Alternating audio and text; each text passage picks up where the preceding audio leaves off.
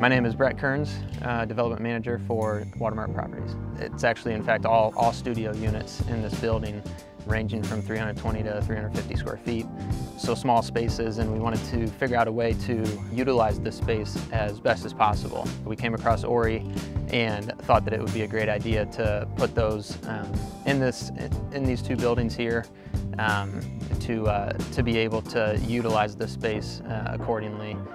The location that we're in is kind of right in the heart of the medical district, so we're getting a lot of traveling nurses who are coming here for a six-month stay or uh, potentially even longer than that. Having a place for them to stay that's move-in ready with a bed and an entertainment center, dining room table, closet, all in one piece um, really makes that attractive. Uh, so the Ori will be situated um, along this wall, be able to move from end to end, allowing you to have a entertainment area here, gathering seating area, dining room table, and then be able to access your closet and beds. Really makes, makes the space feel, feel much bigger than, than what it actually is.